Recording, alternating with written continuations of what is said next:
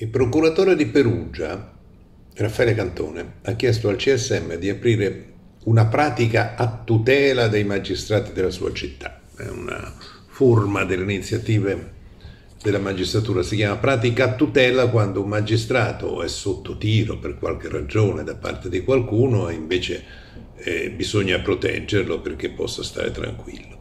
In genere se apre una pratica a tutela è un vantaggio per la carriera del magistrato che nel curriculum e, e scrive che è stato perseguitato da qualcuno.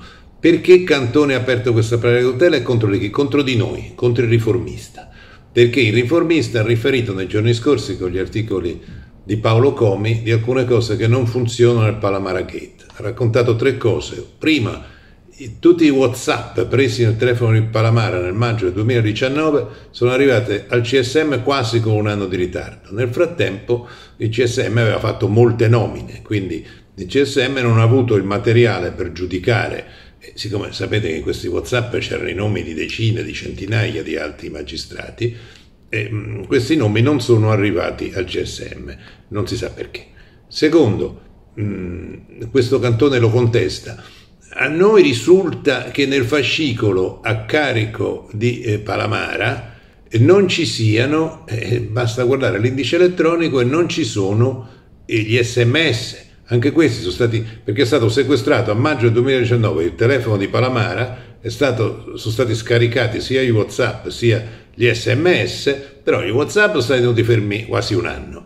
Gli sms al, al nostro giudizio non ci sono e abbiamo chiesto a Palamara, ha detto che anche lui non ne ha notizia, e mm, a lui non risulta che siano nel fascicolo questi sms. Cantone dice di sì, eh, però ci dovrà dire dove li ha messi. Terzo, gravissimo, eh, abbiamo denunciato il fatto che il Trojan, sapete cos'è il Trojan? È la spia che viene messa nel cellulare di Palamara, eh, viene messa in qualunque cellulare, in questo caso il Trojan di Palamara, e che funzionava tutte le sere, credo dalle 7 in poi, perché gli inquirenti quando l'hanno messo sotto osservazione e, e che è la fonte, sto Troia poi è la fonte del Palamaraghetta, è il motivo per cui è stato cacciato dalla magistratura, eccetera. Questo Troia funzionava tutte le sere, una sola sera non ha funzionato ed è la sera in cui Palamara è stato a cena con Pignatone e con altri magistrati, non sappiamo i nomi degli altri magistrati importanti, pare, probabilmente, non probabilmente, insomma, più che probabilmente per discutere della nomina del nuovo procuratore di Roma, fu spento. E noi abbiamo detto da chi fu spento, come fu spento? E abbiamo provato che è stato spento intenzionalmente, è stato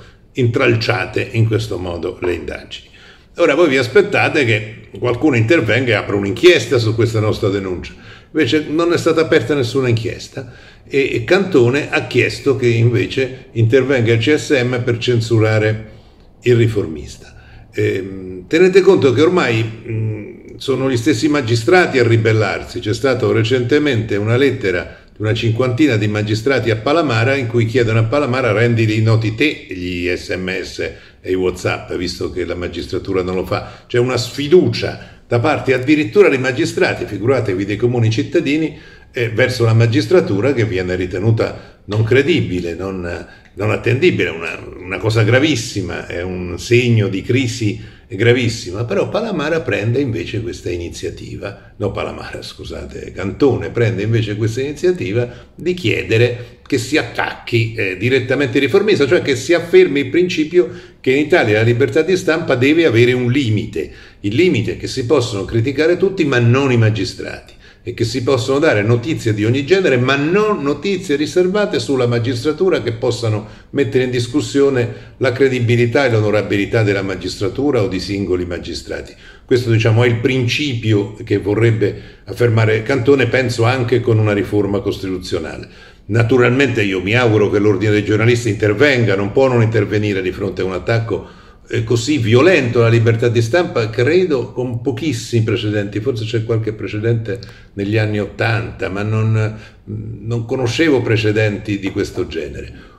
Qual è lo scopo di questa iniziativa? Io non ne vedo altri l'unico scopo può essere quello di intimidirci, così come spesso il riformista viene intimidito dai magistrati attraverso le querele. Recentemente ho fatto un elenco di magistrati che mi hanno querelato, da Di Matteo a Davigo, a Esposito, a Gratteri, tutti i bei nomi della magistratura, ce li ho eh, quasi tutti fra i miei eh, querelatori.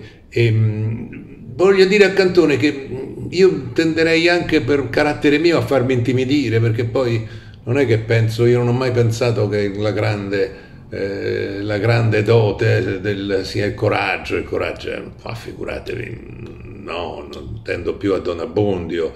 E, ehm, e però sapete c'è una questione che in Italia c'è un solo giornale che critica la magistratura, ce n'è uno solo, un solo quotidiano che critica la magistratura e siamo noi. E quindi non mi posso permettere il lusso di farmi intimidire perché se ci stiamo zitti pure noi eh, non, si crea una situazione di assoluta, eh, proprio si crea il regime, mm, una cosa simile a quella che sta chiedendo ora Cantone in Italia c'è stata solo durante il fascismo